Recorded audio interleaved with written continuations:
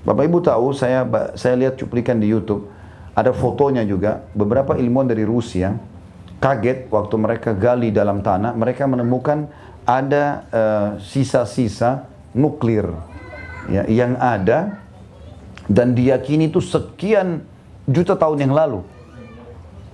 Dan bukan mustahil menurut para ilmuwan sekarang, kalau ada banyak bangunan-bangunan ditemukan besar-besar gitu kan, itu bukan mustahil manusia dulu memang sudah sampai pada tingkat mereka sudah mencapai masa kita, bahkan lebih. Teknologi sudah sangat maju. Cuma mereka hancur karena Allah binasakan mereka, karena kekufuran mereka. Lalu manusia kembali lagi ke masa purba, lalu kita mulai lagi merangkak sampai ke era sekarang.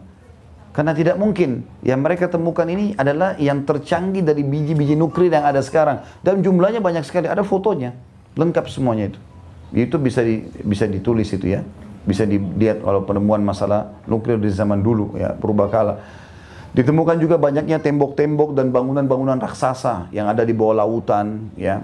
Yang mereka bagaimana bisa bangun kalau secara akal saya susah di zaman sekarang. Tapi itu terjadi.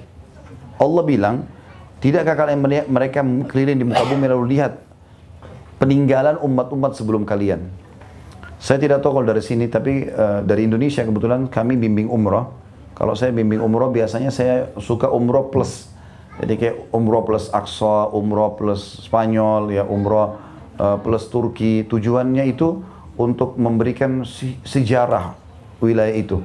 Di antaranya kalau kami uh, bimbing umroh untuk Palestina ke Aqsa, itu biasanya di bulan Desember. Ya. Itu pasti masuk ke Jordan dulu. Dan di Jordan itu ada satu kota tua namanya Petra. Bapak Ibu bisa ketik di Google kota Petra, fotonya banyak. Kota Petra itu sebenarnya sebagian sebagian ahli sejarah meyakini tempatnya kaum Thamud, kaumnya Nabi Saleh. Ya.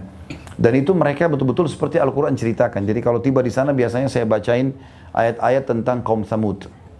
Mereka itu di antaranya menjebol gunung-gunung batu jadi rumah.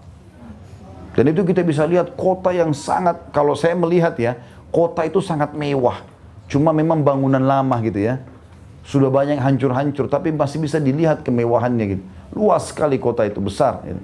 Nah itu kita lihat bagaimana kebesaran maha kuasaan Allah. Mungkin teman-teman tidak asing juga dengan Fir'aun, piramidanya Fir'aun di, di Mesir. Masih ada muminya Fir'aun yang Allah kekalkan gitu kan. Dan masih banyak peninggalan Namrud di Babilonia dan yang lainnya masih banyak. Allah suruh kita keliling untuk melihat itu.